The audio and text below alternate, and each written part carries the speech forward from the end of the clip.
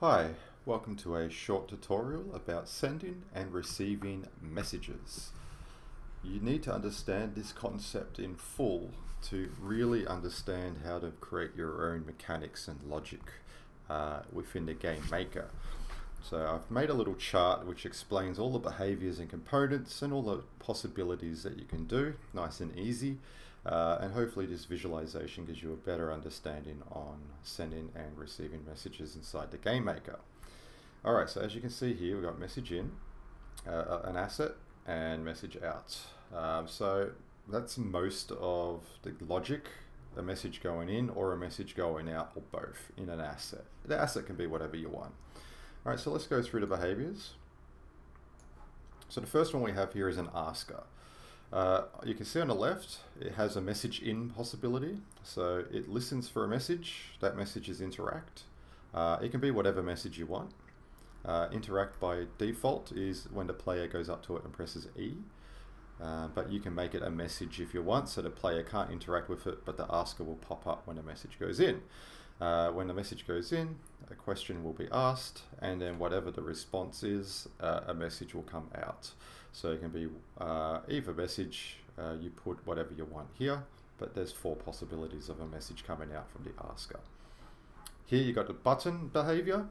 Uh, no messages to come in for the button, but there is a message going out. So when a player interacts or pushes the button, um, a message will be sent out. That message can be sent anywhere that has a message in section. So if you have a button, player pushes it, messages goes out, and it can go into an asker, uh, which pops up a message. And when the answer is selected, message can go out and start a chain somewhere else. Uh, next we have message broadcaster. You can see there's a message in possibility. When we tick the wait for broadcast, we wait for a message. Once the message is received, uh, there's a message to send, so a message does come out from a message broadcaster. Um, you got different possibilities here. You can uh, detect or send these messages above to a specific tag in range um, or to all assets in range. So usually the message broadcaster um, is is specified by what sort of broadcast type that you want and the range that you want. Uh, next we go uh, asset spawner. Asset spawner has a few message ins. You can do multiple message ins. Uh, once this receives the message, it can spit out an asset. There is no message out for asset spawner, uh, only assets come out. So if you want something to appear out of nowhere um, when a message is received, um, this is what you use. Next we have a door behavior. It has multiple message ins, so you can have different messages coming to the same door. Uh, when a message does come in, the door will activate. Uh, it can open and then close, open and then close. Uh, and you can select the starting animation uh, state, so if you want the door to be open at the beginning, it can, or closed. Uh, but then you have messages on open and message on close. So, uh, and then it sends a message out. So if you send a message into the door and the door opens, you can have a message send out once the door is open. Uh, and when a door closes, you can have a message sent out as well. So it's quite useful there. Next we have replace asset.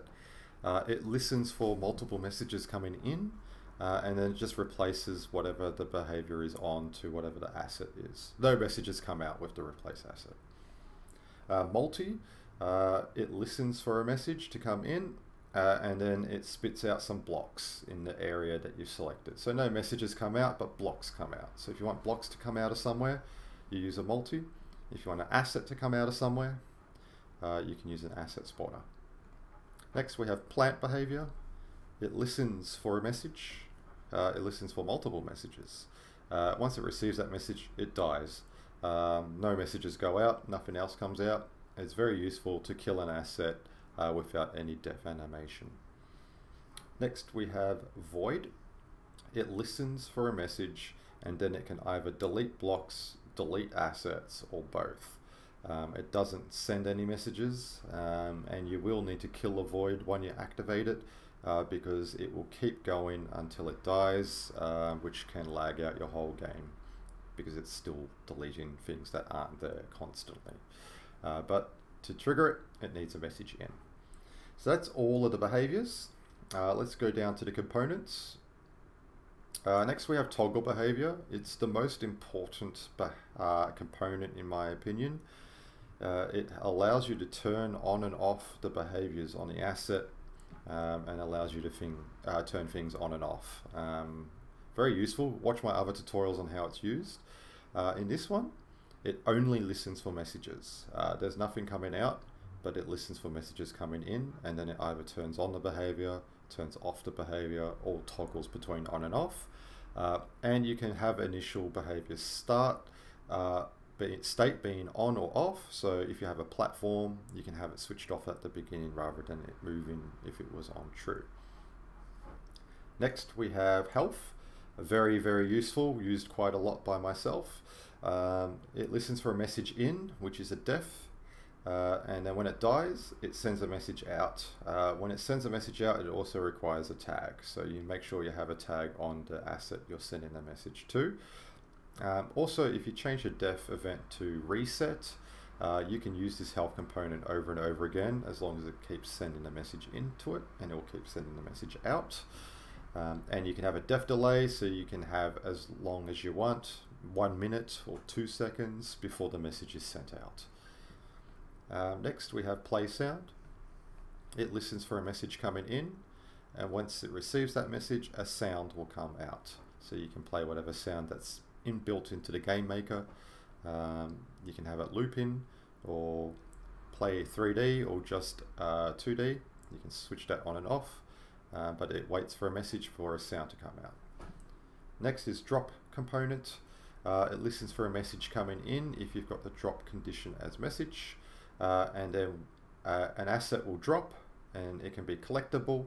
When you collect it, the message can come out uh, to do something. So uh, you kill an enemy, it drops an asset, you collect that asset, it sends a message out which can open a door or spawn something or anything that requires a message in. Uh, speaker component, uh, another one that's used quite a lot. Here you can detect an enemy or avatar to send the message or you can wait for a message. So here it says message in. Once it receives the message, it will display the text above and then you have the option to send a message out. So message in and message out happens at the exact same time uh, as long as you have uh, a message in the output. And the last two here is defeat. So it listens for a message in. Uh, once it receives that message, a defeat screen will pop up, a game over screen pretty much. And the last one here is collectible. Uh, no messages coming in, but if an item is collectible and you pick it up on collision, you can send a message to go out. So you can make doors open or anything else that requires a message in.